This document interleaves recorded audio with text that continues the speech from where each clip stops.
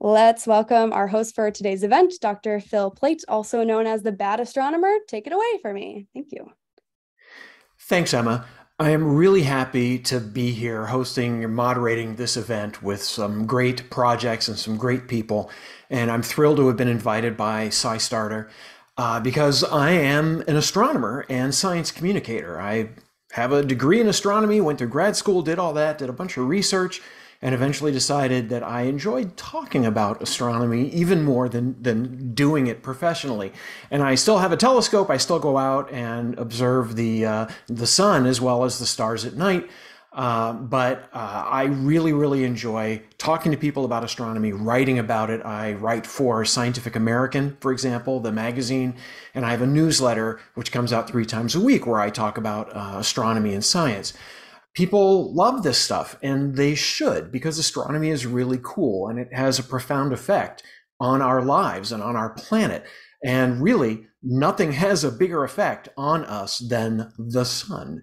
Uh, and eclipses are super cool and a super cool way to learn about the sun. So I'm really happy to be talking about this. And, and you in the audience can participate in this. This isn't just simply where we're going to be talking about science. We're going to be talking about science that you can do. These are called citizen science projects. And citizen just means people, not necessarily trained astronomers. You don't have to be a citizen of any country or anything like that. You just have to be a citizen of planet Earth. And to be able to participate in these things, you have to be able to just experience what's going on around you. And that comes at different levels. We're going to have some projects where you just have to pay attention to what's happening, and other ones where you need some equipment, you need to have a little bit of training. We'll talk about all that uh, as the as the folks here will be discussing their projects. Um, but I love citizen science projects because it gets people involved in real science and it gets you immersed in what is going on in the scientist world. And also just because it's cool to do science. It's a lot of fun, and you wind up learning more about the world around you, about the universe around you by participating in it. So let's talk a little bit about what we're going to be doing here today. And we go to the next slide.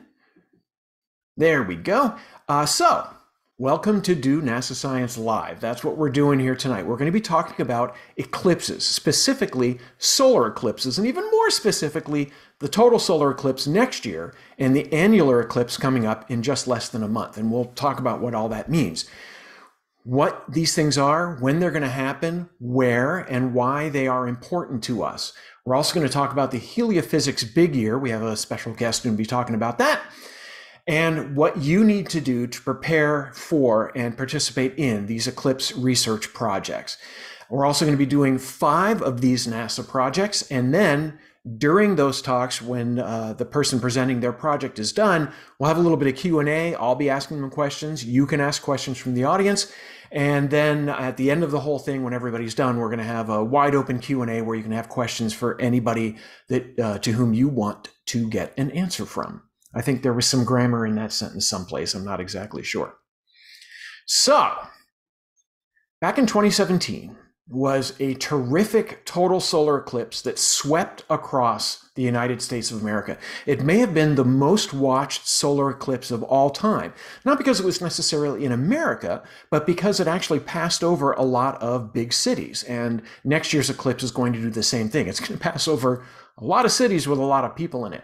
And in 2017, I went to uh, Wyoming, which uh, when I lived uh, in Colorado was only a few hours drive, and watched the eclipse happen. I brought some friends with me, some folks, and we all watched this solar eclipse. Now I'm going to tell you, as an astronomer of some years old, that was my first total solar eclipse. I'd not seen one my entire life until six years ago.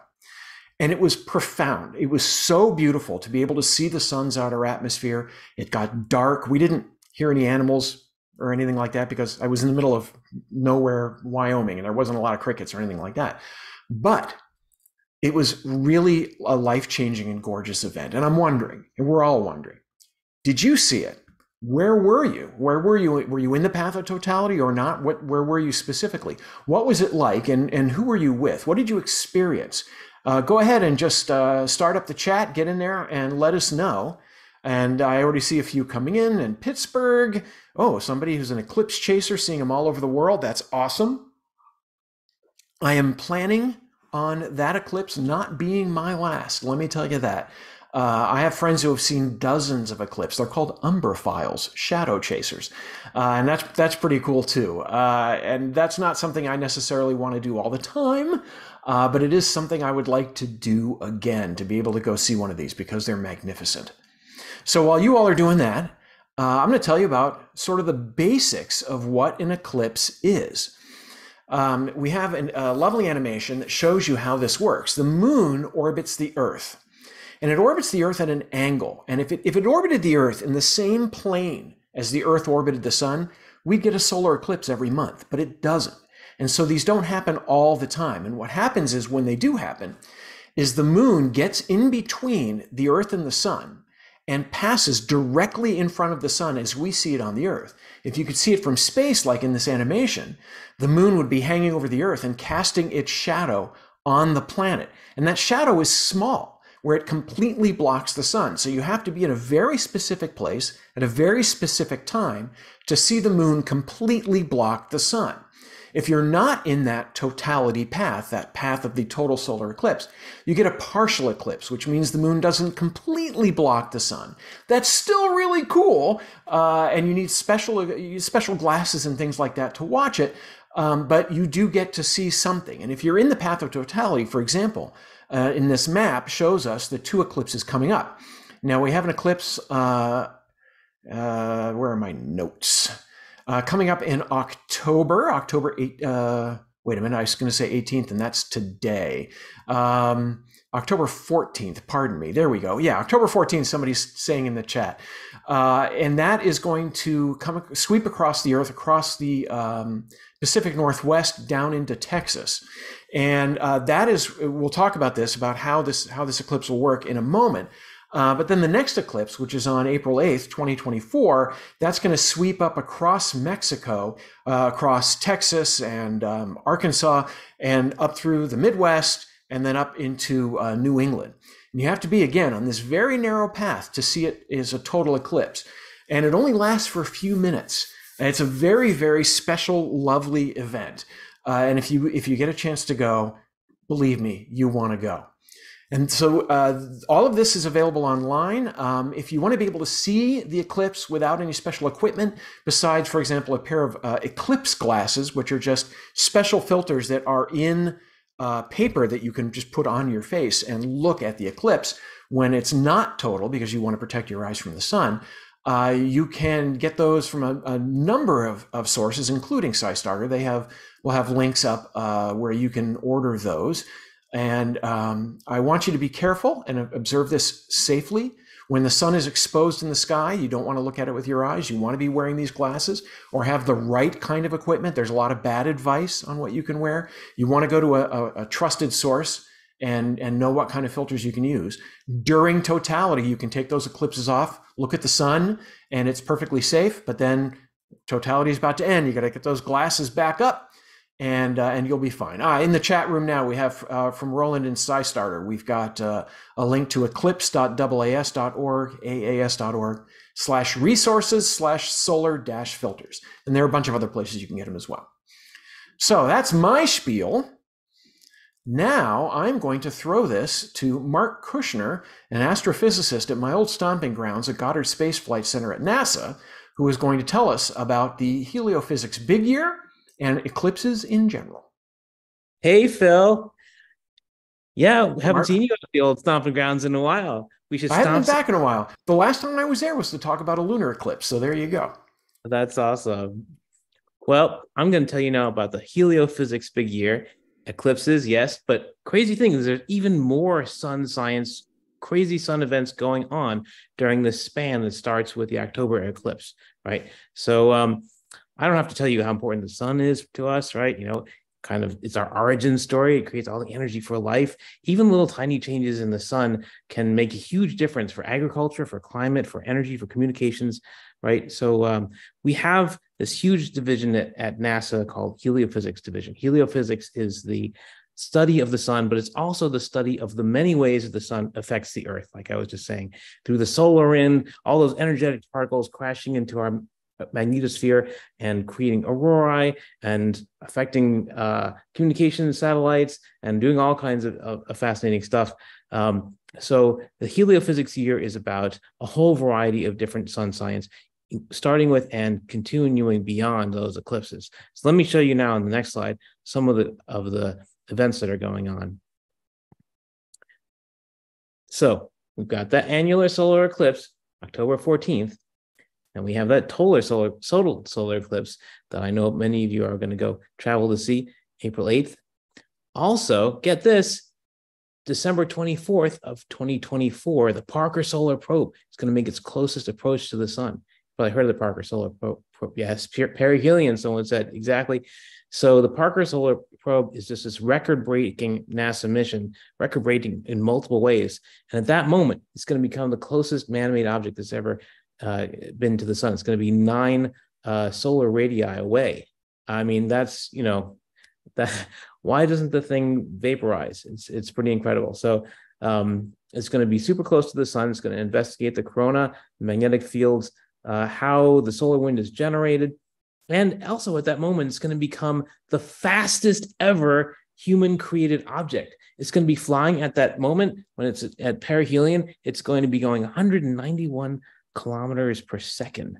So it's it's it's doubly wild. Okay, so we've got the eclipses, we've got the closest approach, and on the next slide, we've also got solar maximum coming up. So I guess it's not technically until the following year, but as we get closer to solar maximum, there's all of these interesting magnetic events ramping up on the sun. So the sun has this 11 year cycle during which its magnetic fields get increasingly twisted and, and wound together.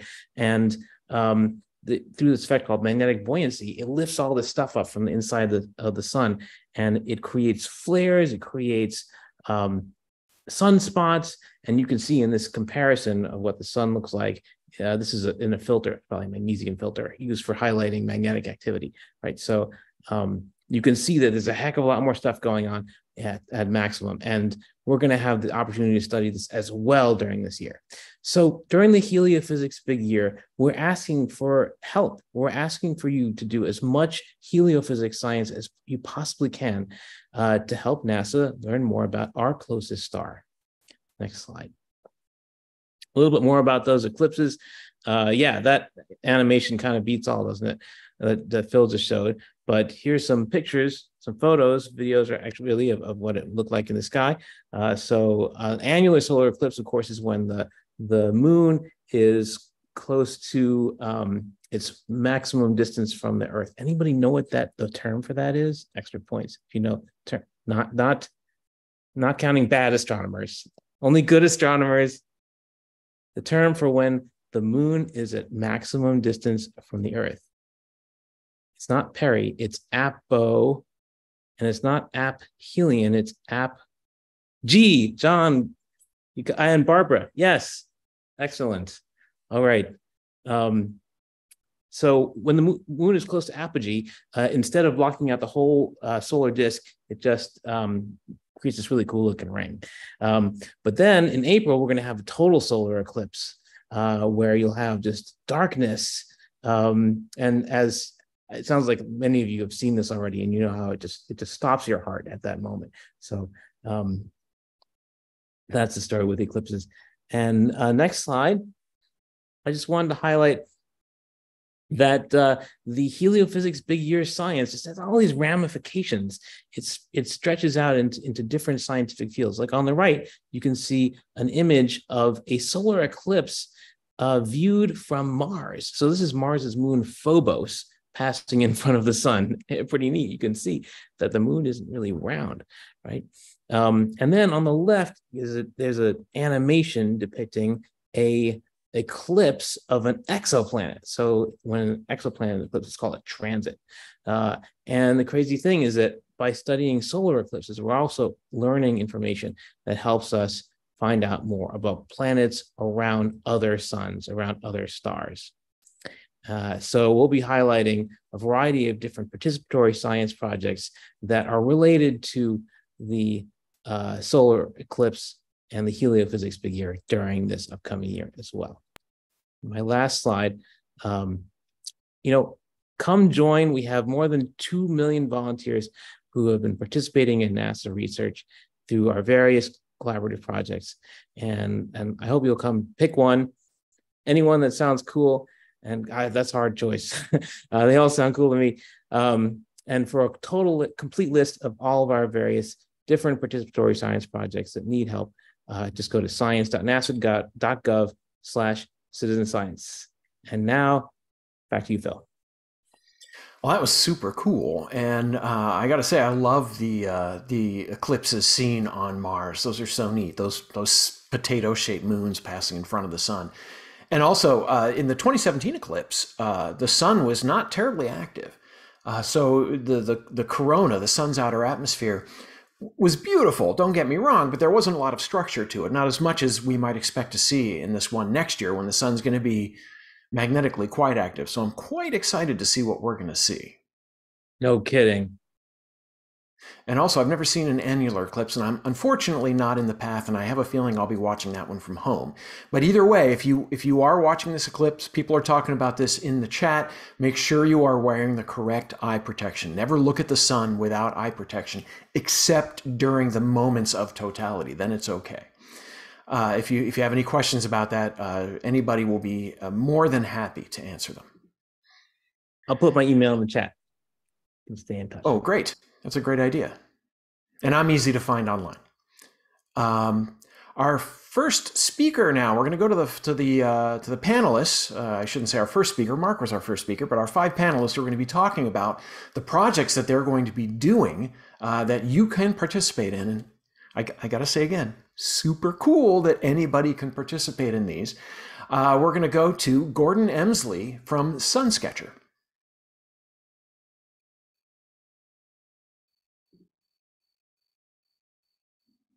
In a sec, we're working on getting him on.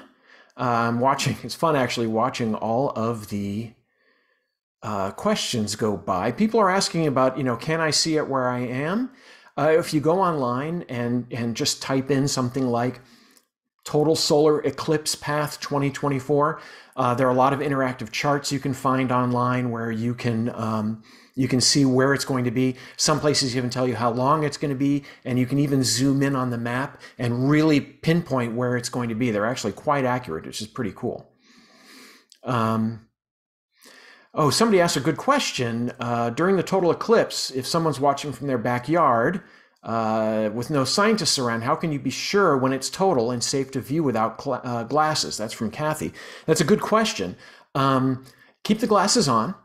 And when the sun, you'll be able to see the sun through the glasses. It'll just be a bright patch, typically orange in color. The glasses make it look kind of orange. The sun will disappear and you will see nothing through those glasses. They're quite dark.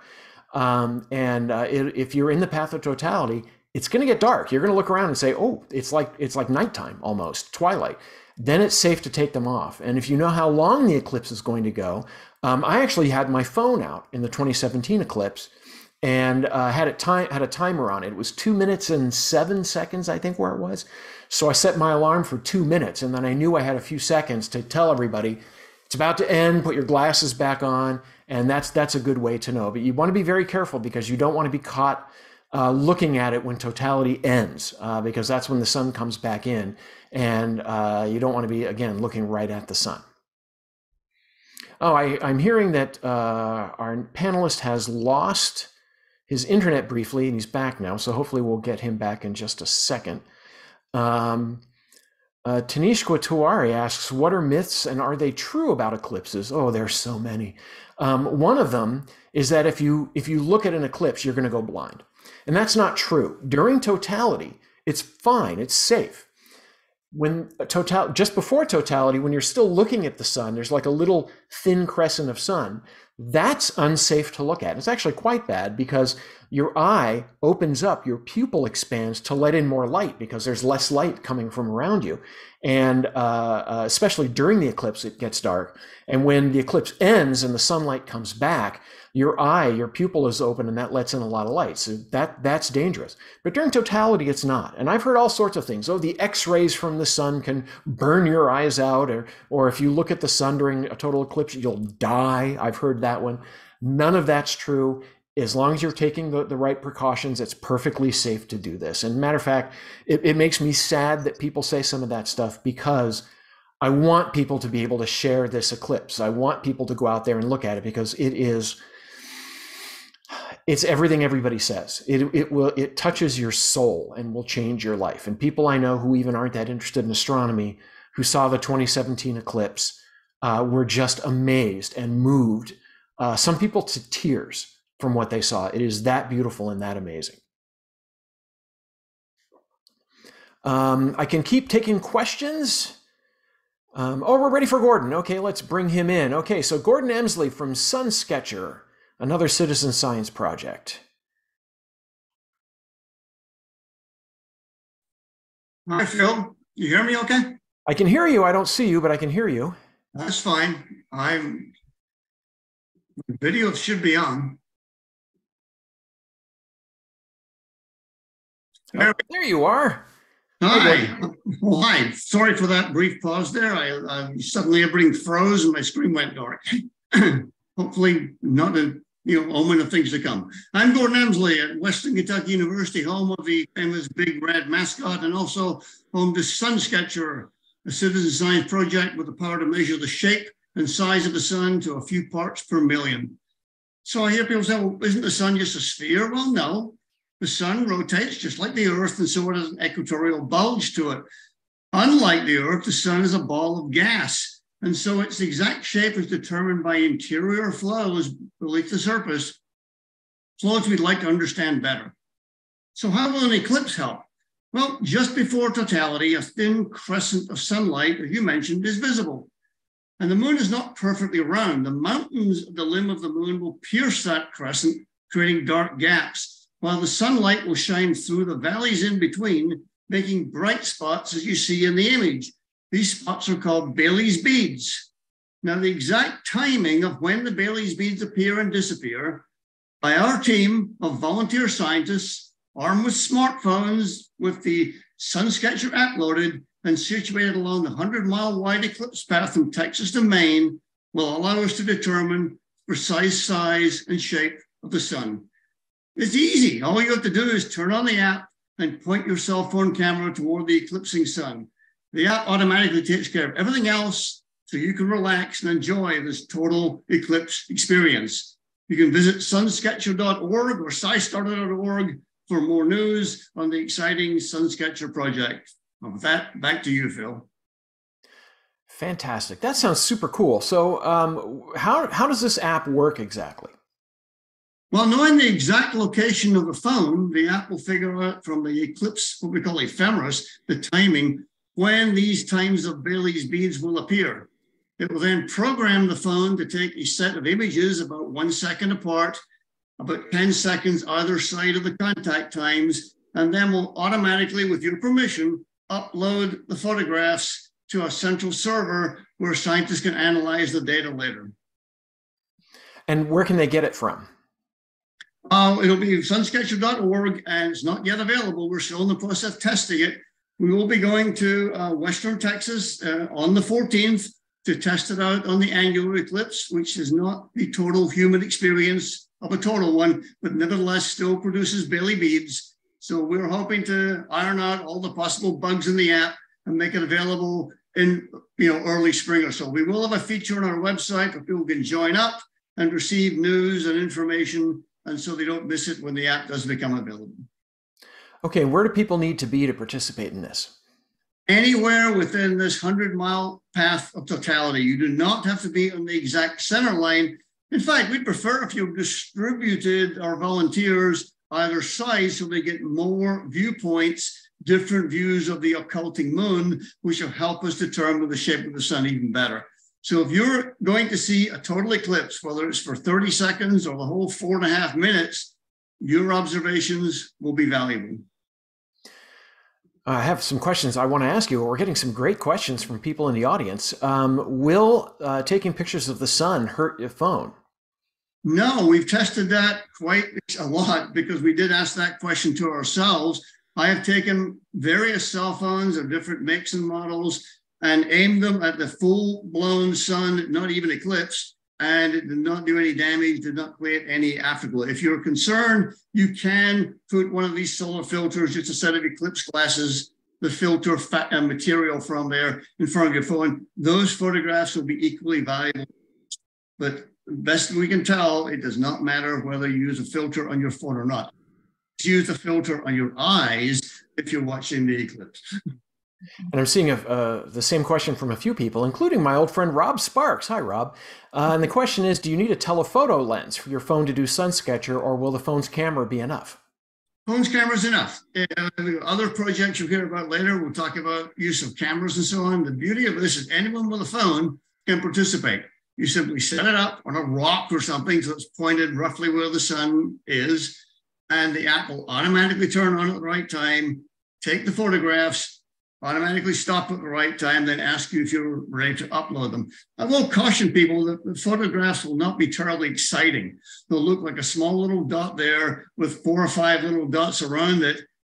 Don't be discouraged. This is exactly what we want. The fact that your phone saw a Baily bead and my phone 100 yards down the road did not is actually very valuable information. So in fact, your photograph with no dot at all is just as valuable as the photograph with the Baily bead dots.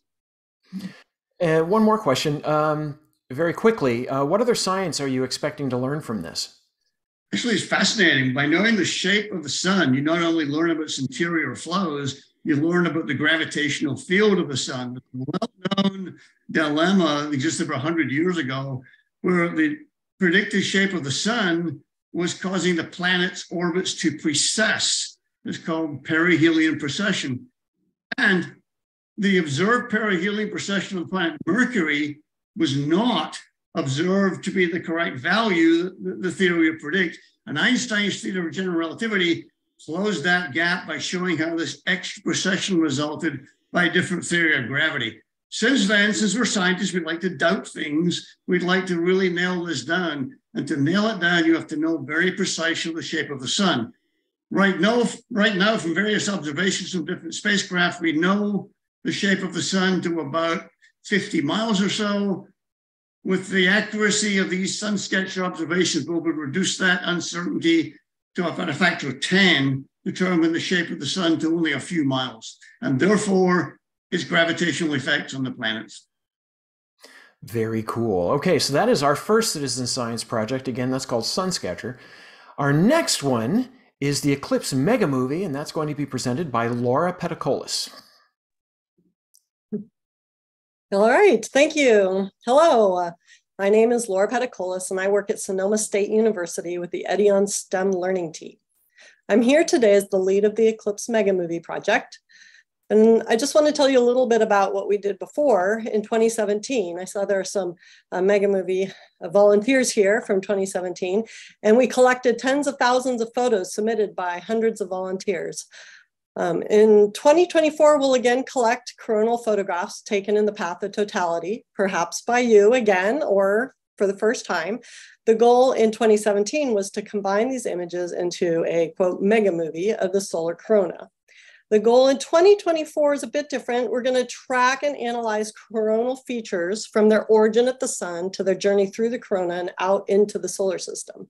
We'll accomplish this goal by combining eclipse photographs into high dynamic range images and studying these images with NASA solar data.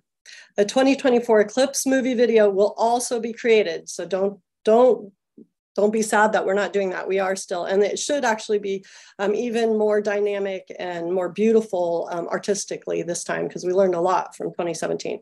Another opportunity for volunteers to participate will be through a Python Kaggle competition to mine the 2017 and 2024 photo data sets for important scientific findings. So if you're coders out there, we're gonna need you too. So please join our team by filling out our sign up form, which can be found on our website, eclipsemegamovie.org.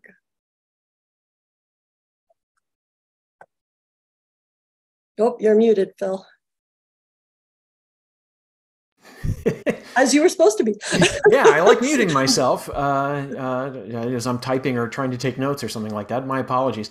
Um, I guess the obvious question is what special equipment do people need to do this and how do they get it?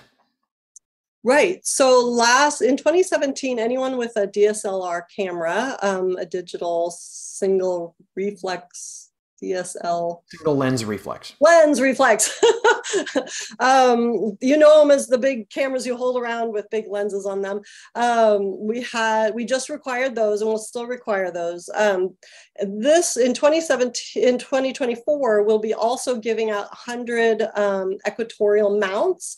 Uh, to um, volunteers who have their own camera, they're um, with a lens like a 300 millimeter lens, and um, a tripod and who are willing to plug in a computer so that we can take more specific photographs this time. We will also be still collecting, like we did in 2017, any photographs that anyone takes under the path of totality of the corona. Um, but we realized we really needed, as many of you if, uh, told us last time, don't you want to tell us more what we what we should be doing? Um, yes, this time we're going to tell some of you a little more about what we want you to be doing. Yeah. So they should have some experience, obviously, uh, observing eclipses and doing things like that. I assume. Yeah, that helps for the for the hundred volunteers that will get um, this free mount. Then yes, they should have some experience. Yeah. Yeah, that's fantastic. Being able to to have the funding to be able to to send out equipment to people. So if there is anybody out there in the audience who uh, you know has a nice camera and is able to do this, uh, you know, is it just a mount or is it a tripod as well? Um, we are not currently providing the mount, the tripod. We are, it's just a mount. Um, usually we, and we created those here at Sonoma State um, with a makerspace, a, a DIY mount. Usually they're $6,000 mm-hmm. each. Um, so these are a lot less expensive. But um, so the idea is that you know the the camera will will stay with the sun um, for the four minutes of totality. Right. So so it's something that you put on your tripod between your tripod and your camera, and it will track the sun as it's moving because you're zooming in to see the details. This isn't something you want to do on your cell phone. This is something you want a nice telephoto lens so you can actually get capture details of the corona. Um, what are you hoping to see from uh, some of these pictures? Well, from the 2017 um, data, we finally found uh, some plumes, which are big streams of plasma coming off of the um, sun. And what is um, very hard to study is how the, these features in the solar corona move from the kind of what we call the surface of the sun. It's not a surface, it's still gas, but um, it's that bright edge uh, from that area all the way out to where NASA is observing the sun. Um, and it's really hard to get that information in white light, except when you have totality. So this how things evolve from their origin to out further from the sun is not very well understood. There's lots of theories, but we don't have the data to kind of confirm those models. So we're hoping to, um, at least for one day worth of data, have um, some more information about that during Solar Max. That's fantastic. And I guess uh, with the sun heading towards the peak of its magnetic cycle, there's going to be a lot of activity in the corona, a lot of things you all will be able to keep track of. Yeah, I'm very excited. That is terrific. Thank you, Laura. Thank you. And we'll bring up our next speaker, who is Mary Kay Severino, and I'm, I'm really excited to hear about this from Eclipse Soundscapes. Hi, thank you. I'm Mary Kay Severino, the Education Director at Arisa Lab. I co lead the Eclipse Soundscapes project alongside Dr. Henry Trae Winter. The Eclipse Soundscapes project is studying how life on Earth, specifically wildlife, is affected by solar eclipses.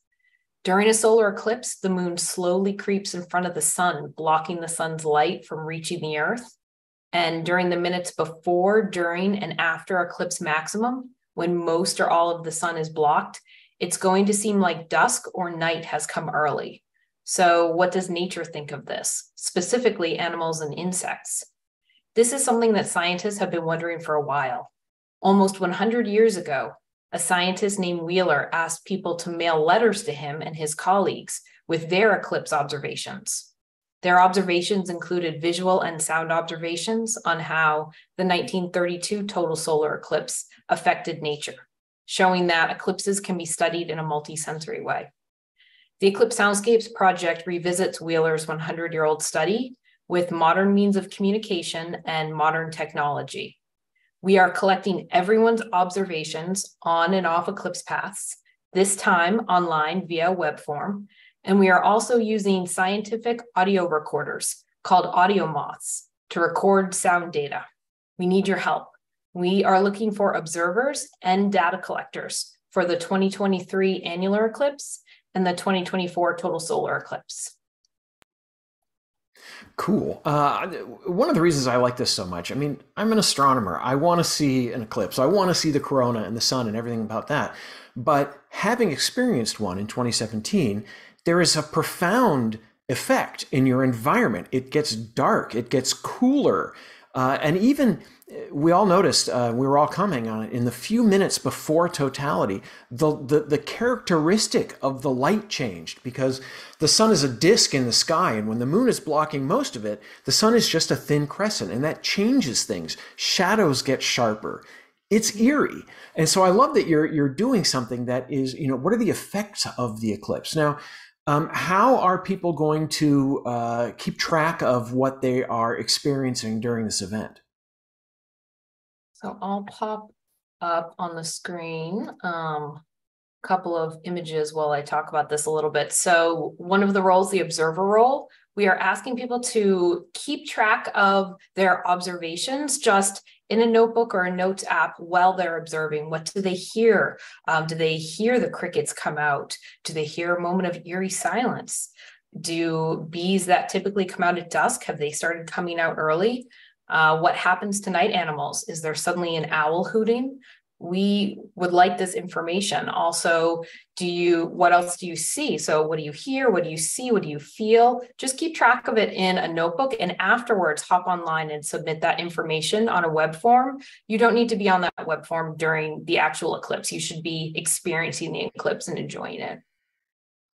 Some of the best advice i ever got from a friend it was actually for a space shuttle launch but it's the same for an eclipse is uh, experience it if it's your first time experience it. Uh, you know, don't don't fuss with equipment or things like that unless you've done it before. Uh, and and I've I, I didn't take any pictures of the 2017 eclipse, none. Uh, I wanted to experience it. So I, one of the things I like about this project too uh, is is that you can experience it and sort of keep track in your head of what you're experiencing at that time, and then report it later. So that's fantastic. Um, what are you, in a vague sense, what are you hoping to get from this? Well, since we have the two roles, we have this observer role where there's going to be a lot of um, observations from people, again, similar to that study 100 years ago, submitting their observations, their qualitative information. We also have um, the data collector role, where we're also putting out AudioMoth data recorders to collect some quantitative data so that we have that to be able to start thinking about um, what's going on with nature when this happens, when it's almost like a sped up version of dusk, night, dawn. That is so cool. And people can get those from you. They can uh, go online and, and register to, to get them. So for the data collector role, which requires the AudioMoth, we do have a limited number that we do make available. Um, and it's also possible to purchase all of the items that you need for the kit yourself. So we intentionally chose an open source as low cost as we could find for a scientific grade audio recorder. They can be thousands and thousands of dollars. An AudioMoth is around a hundred dollars, sometimes a little bit more, sometimes a little bit less, depending on chip shortages. And then we also do have uh, a time when we offer them for free for as many as we possibly can. So it's closed for the annular, but right after the annular eclipse, we'll be opening up the opportunity for people to apply for a free kit for the total solar eclipse. And if you go to the website, eclipsesoundscapes.org, you can sign up for update. So you find out as soon as that happens and whenever we add anything to the website. Oh, and come to think of it, um, if it's cloudy where you are, uh, this still works, right? If it's cloudy, you might not be able to get pictures, but it's still going to get dark. So the animals and the environment may still react, right? Mm-hmm, definitely. Um, you can be looking all around and seeing what are animals doing, what are insects doing. You can watch them, you can listen to them. Maybe you'll be in a park, maybe you'll be in your yard, maybe you'll go to the zoo that day. That would probably be a pretty cool place to figure out what's going on with animals and insects. That's brilliant. I love that. That's excellent. All right, thank you, Mary Kay. And uh, let me add again, um, all of these projects are listed at scistarter.org, S-C-I starter.org, and you get more information there. Uh, so, on to our next panelist, who is Corey Brevik with the Dynamic Eclipse Broadcast Initiative.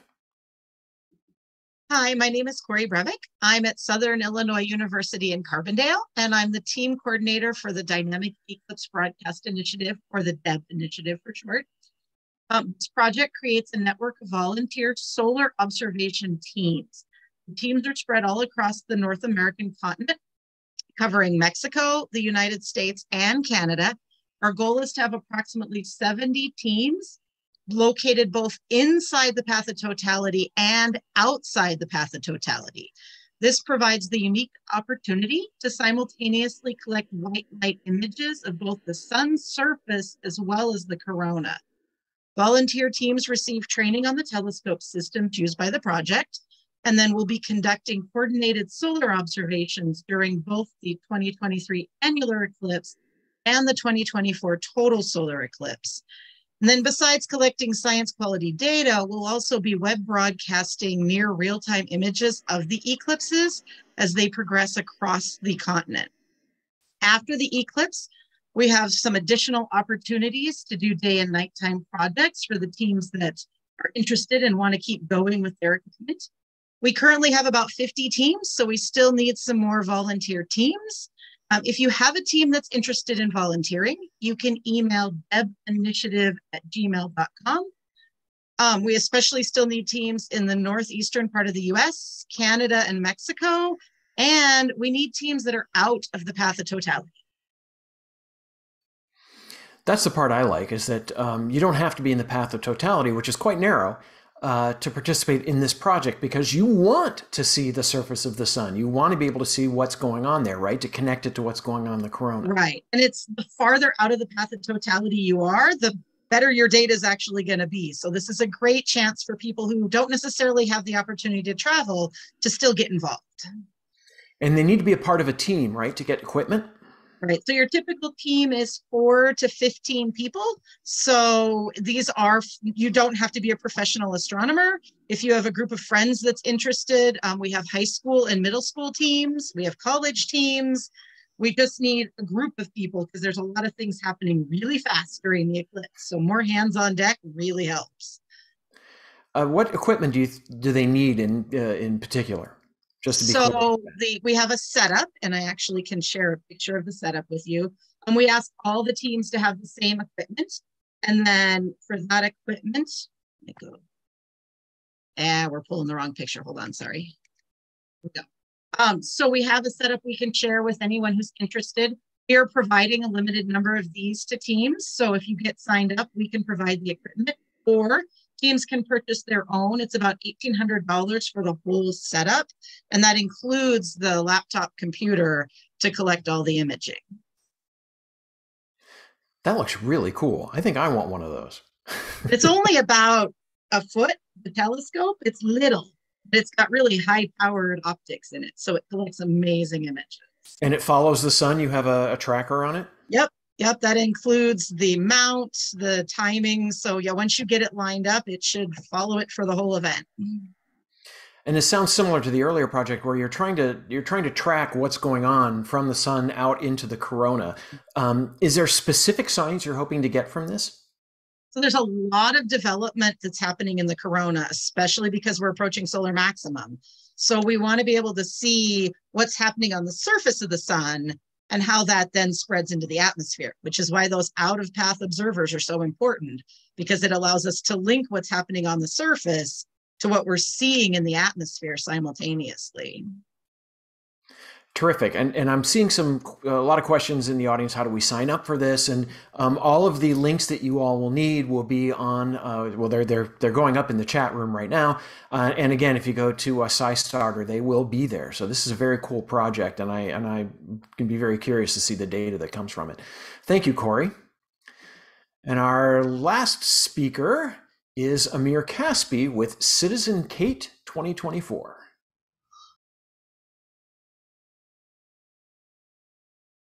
Ah, There he is. there we go. Excellent. Go. Uh, thanks, Phil. I'm Amir Caspi. I am uh, with the uh, Southwest Research Institute in Boulder, Colorado, and I'm the lead for the Citizen CATE 2024 project. Uh, as you've heard, uh, it's difficult to observe an eclipse uh, for many minutes at a time if you're just one person standing in one place. The eclipse only lasts for a few minutes. But to make the eclipse last for an hour, we can make it chase us. And we do that by distributing a team of volunteer observers from communities along the eclipse path uh, to observe the eclipse as the shadow passes over each one of them in series. Now, why are we doing this? The solar corona is hot. It turns out that it's millions of degrees. The solar surface is only a few thousand degrees. And the sun also puts out a constant stream of particles called the solar wind. These are big questions that we're trying to answer, uh, and the CATE 2024 Next Generation Experiment will let us do that. We're going to use special cameras that observe light, uh, the polarization of light. So you might know that light is a wave, it waves in a particular direction. That direction is called its polarization. And it turns out the corona looks different in different angles of polarization. If you look at the image you see there, uh, the different colors, the blue and the tan, those are false color images, but what they show you is different angles of polarization coming from the corona, made with cameras that we observed uh, with the total solar eclipse in April of 2023.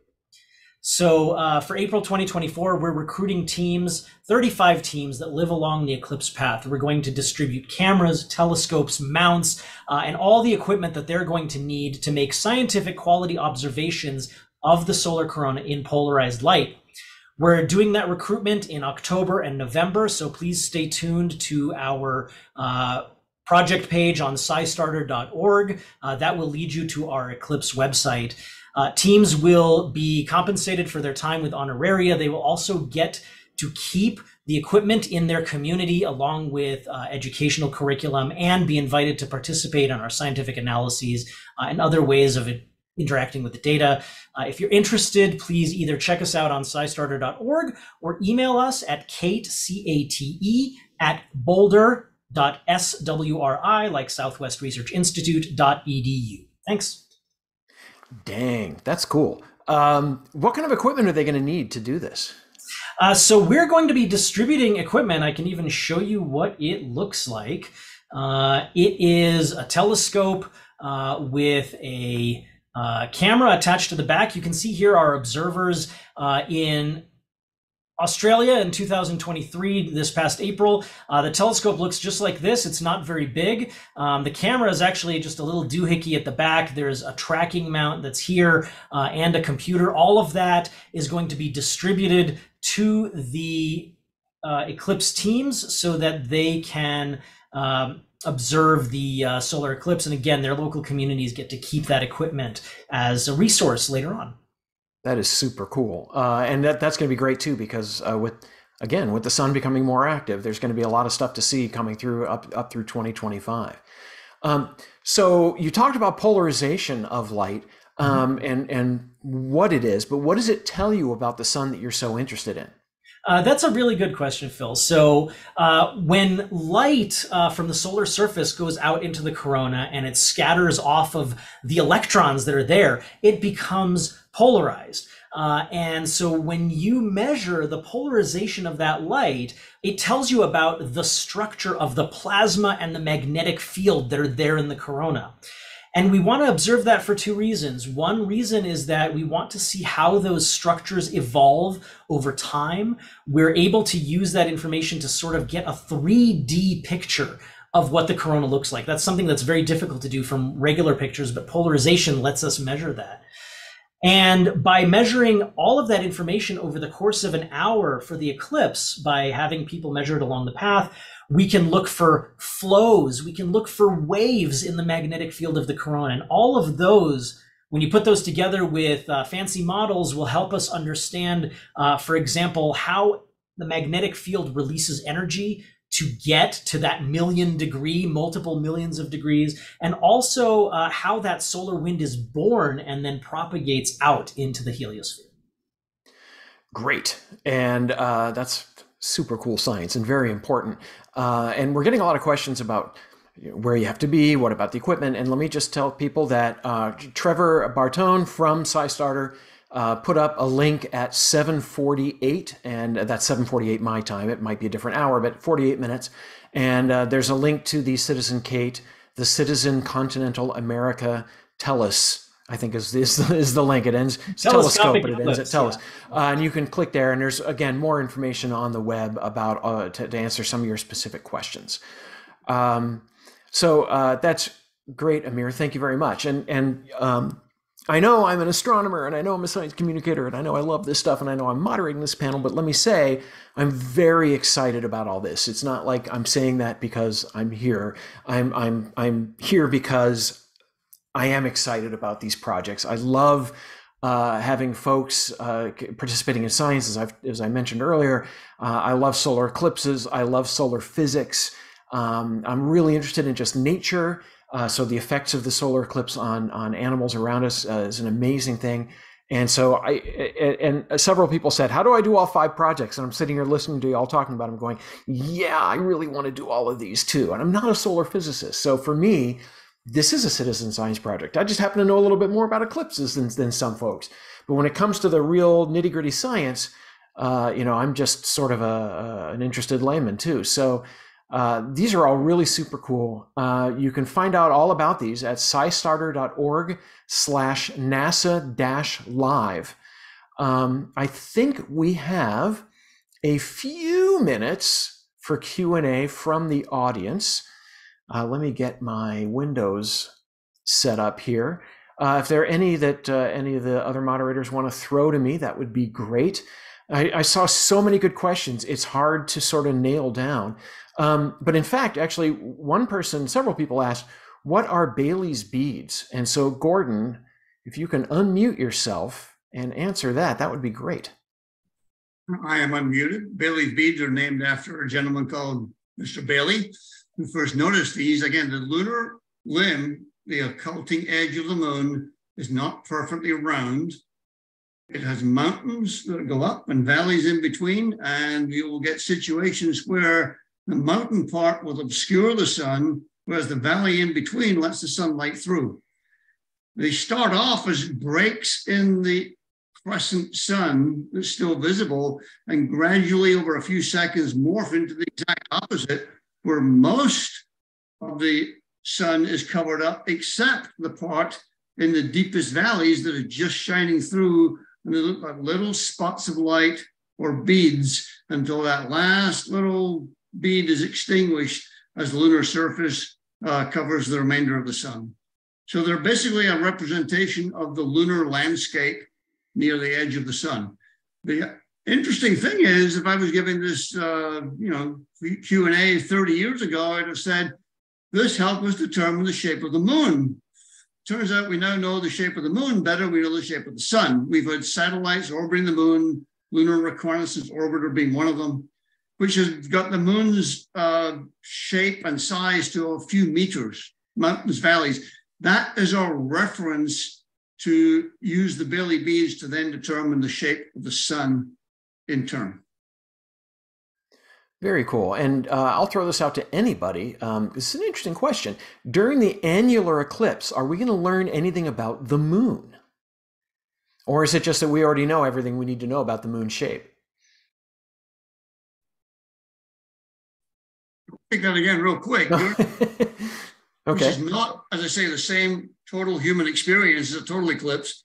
Nevertheless, Baily beads are still visible at either age, and you learn a little bit about the surface of the moon, a little bit about the size and shape of the sun, even during an annular. That's why we're going to be testing it in Western Texas in three weeks. We'll be out there observing Baily bees with Sunsketcher. that's very cool. Um, yeah, I don't remember seeing them on the 2017 eclipse, but all I remember is just being overwhelmed by emotion. So I, I probably wasn't the best scientist. Detached uh, observers, maybe I should have been at that time. Um, clearly, there's a lot we can learn about the sun and uh, and well, and a little bit about the moon during this eclipse. And all of these projects are going to be fantastic uh, to do that. And I'm really thrilled uh, to hear from all the panelists here about these exciting projects. And um, I think I think it is now time to wrap up. Uh, to cut that short a little bit, I apologize for that. Um, but as you can see now, oh, wait a second, sorry, here we go. Um, can we get the next slide up, please? There we go. Um, very excited to be a part of this. Uh, and I've got the wrong notes up. There we go. Sorry about that. Um, this event was part of Do NASA Science Live, which is a series of virtual events. These events will be updated on the Do NASA Science Live homepage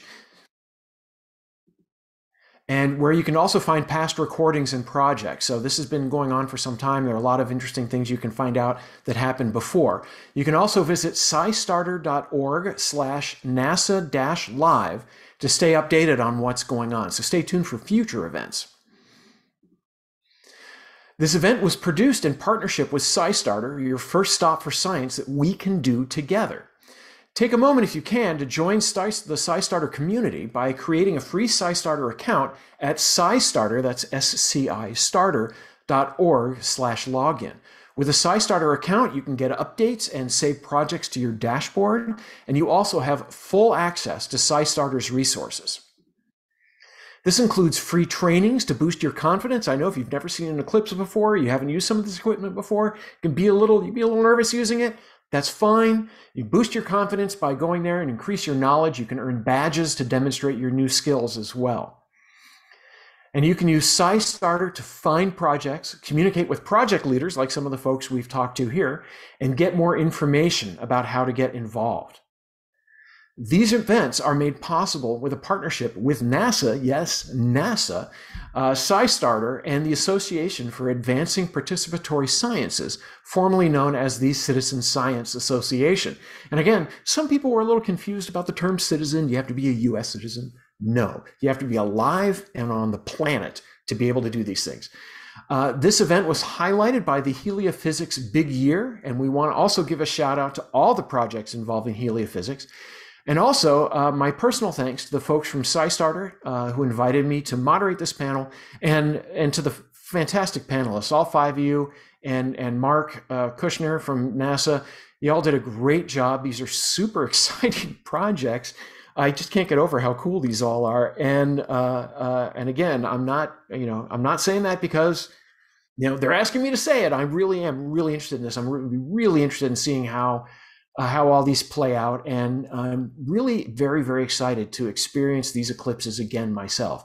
I hope you all get to a place where you can watch them and watch them safely, learn about the sun, learn about the moon, learn about the earth, and hopefully it'll whet your appetite to do even more science. Thank you so much to our audience for participating tonight. Good night. Thank you so much, Dr. Phil Plait. We're so excited to have you here uh, today helping us out with this event. Um, it has been a joy to hear everything coming from you as an expert, and you led us through very well. Um, so we need to give a good shout out to uh, our fantastic host. Thank you so much, Dr. Phil uh, Plait. Uh, also named the, I know every time I say Dr. Phil, I'm like, oh wait, no, no, I need to finish that statement there.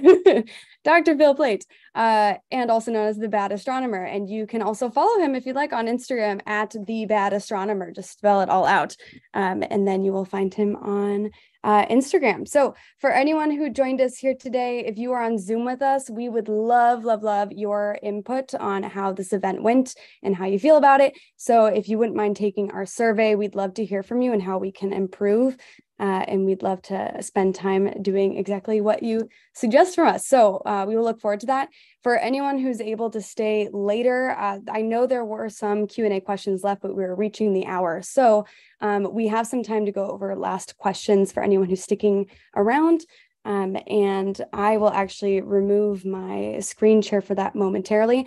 Before I do so, though, I did want to mention a quick shout out to a partner that we also have to called the NASA Science Now virtual exhibit. They are live streaming this now from our YouTube stream, and they also will have a recording on their site for the next couple weeks that you can look at from this as well as on the scistar.org slash nasa dash live website. Um, they have other resources there as well to explore including some materials from um, heliophysics big year. And just to remind you what that looks like that's this page. So if you'd like to scan that qr code for access to that you are more than welcome to uh, now in the chat i did want to ask a selfish question before i hand it back to uh, checking through the rest of the questions. But I know a lot of people were curious about their best resources in order to figure out if they're in the right spot for the eclipse. For all of our guests who are here, because that's a question, there's other questions about resources. I'm just curious if any of you have specific resources that um, that you would point people to automatically for things that help uh, someone get involved, you can drop that in the chat. Maybe it's like a map that tells you where in percentage wise you are in comparison to the eclipse, which will help them. Maybe it's a note about your project, um, about which people in the path of totality or outside the path of totality, something mentioned um, about accessibility there, I think people would appreciate as well. All right, I'll go ahead and drop my screen share so you can see all of us. Um, and go through the Q&A. If there are any more questions, keep them flowing um, and we will try to answer as they come. Um, for the most recent one I saw after that one, which um, was about recordings too. So for the recording, just to reiterate, that will be sent, um, or that is on the scistarter.org slash NASA dash live, as this recording will be there um, after tomorrow, in addition to the NASA Science Now virtual exhibit. We'll also be sending out a follow-up email to all of you who signed up today. Excellent. Okay. All right. Um, we'll be looking through the chat to make sure anything else is going on, but I see a lot of compliments, honestly. So thank you so much for anyone who is writing compliments in the queue, and I appreciate that. I was expecting to look at a um, look at a question here, but it looks like we might be okay. Excellent. All right, I'm going to go ahead and have us uh, drop our YouTube share unless I get a call out to not do that. But um, thank you everyone for your uh, your viewing uh, viewing on YouTube. We're going to go ahead and end our recording and our uh, stream to YouTube and recording.